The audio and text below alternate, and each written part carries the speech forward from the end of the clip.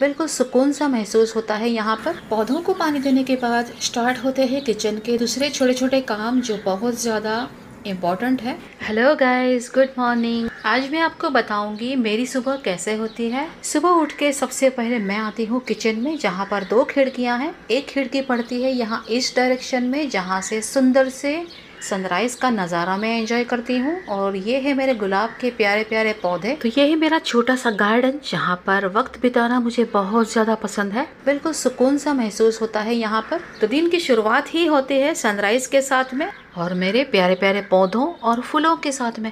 और वैसे भी सुबह सुबह उठ के तुरंत ही किचन के काम में लग जाना मुझे अच्छा नहीं लगता। मतलब कि मूड ही नहीं बनता काम करने का। सो so गाइज़ जैसे मैंने उस इस डायरेक्शन वाली विंडो में आ, कुछ गुलाब के पौधे लगाए हैं उसी तरह यहाँ पर ये जो पौधे हैं इनमें से ये वाला जो है ये है मोगरा।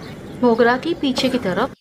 देखिए, ये जो यहाँ पर ये वाला तुलसी का पौधा है और तुलसी और मोगरा के बीच में जो छोटा सा प्लांट था, वो है करी पत्ता। गाइज़ आप में से किन किन को गार्डनिंग का शौक है मेरी तरह? और आपने अपने घरों में कौन से कौन से पौधे लगा रखे हैं? मुझे कमेंट ज़रूर करना। और गाइस ये है एलोवेरा जिसे रोज़ के रोज़ पानी देने की ज़रूरत नहीं रहती है। अगर हम रोज़ इसे पानी देंगे तो ये जो पौधा है, ये ख़राब हो जाता है, ऐसा मैंने सुना है। तो मैं हर दो तीन दिन में एक बार एलोवेरा को पानी देती हूँ। पौधों को पानी देने के बाद स्टार्ट होते हैं किचन के दूसरे छोटे छोटे काम जो बहुत ज़्यादा इंपॉर्टेंट है।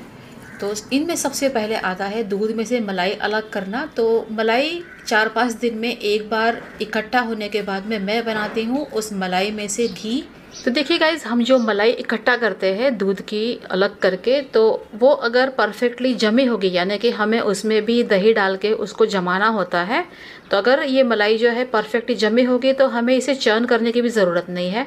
थोड़ा सा बस चम्मच से इसको चला के आप देख सकते हो, ये जो मक्खन है पूरा अलग हो चुका है। पाँच से छः दिन की मलाई जमा होने के बाद ये इकट्ठा हुआ है मक्खन, और अब हम इसका बनाएँगे घी। वैसे हफ़्ते में एक आध बार इस तरह से घी बनता है मेरे घर में, लेकिन इतना घी मतलब इनफ नहीं रहता। लेकिन एक सुकून सा लगता है, मन में एक खुशी से मिलती है कि हमने घर का घी बनाया और घर का घी हम यूज़ कर रहे हैं। वैसे ये वाला घी मैं स्पेशली भगवान की पूजा में या कुछ प्रसाद बनाना हो तभी यूज़ करती हूँ। और घर के लिए जब हम रोटियों पर अप्लाई करते हैं तो यही वाला घी सबको चाहिए। उसमें फिर बाहर के घी का टेस्ट हमें नहीं भाता। और अगर कम पड़े तब मैं बाहर से एक्स्ट्रा शॉप कर लेती हूँ कभी कभी और इसके बाद शुरू होते हैं मेरे किचन के बाकी सारे काम। जैसे कि चाय नाश्ता बनाना वगैरह वगैरह, जो हम बाद में कभी डिस्कस करेंगे। और अगर आज की वीडियो पसंद आई है तो लाइक शेयर सब्सक्राइब कमेंट